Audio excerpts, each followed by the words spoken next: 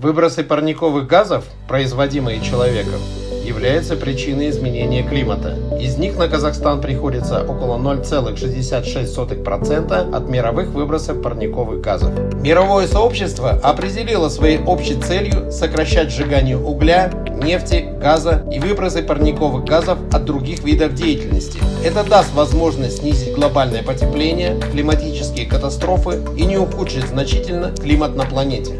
Ближайшая климатическая цель Казахстана – добиться того, чтобы выбросы парниковых газов по стране в 2030 году оказались не выше около 320 миллионов тонн. Эта климатическая цель может оказаться и более высокой. В этом случае выбросы парниковых газов в 2030 году нужно будет сократить до уровня 295 миллионов тонн. Правительство предусматривает возможность принятия более высокой цели в зависимости от международной помощи.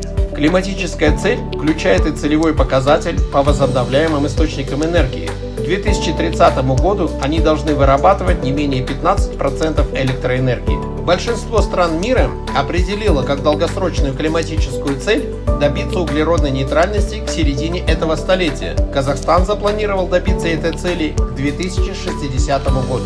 Это не означает, что выбросов парниковых газов не будет вообще. Запланировано, что оставшиеся 45,2 миллионов тонн будут поглощены за счет улучшения землепользования и увеличения площади лесов. А знали ли вы раньше о климатических целях Казахстана?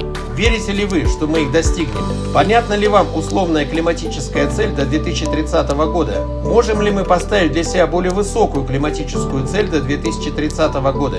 Пишите ваше мнение в комментариях. Ждите следующие наши видео, в которых мы обсудим климатическую политику Казахстана, наши климатические действия и источники информации о том, что делает Казахстан.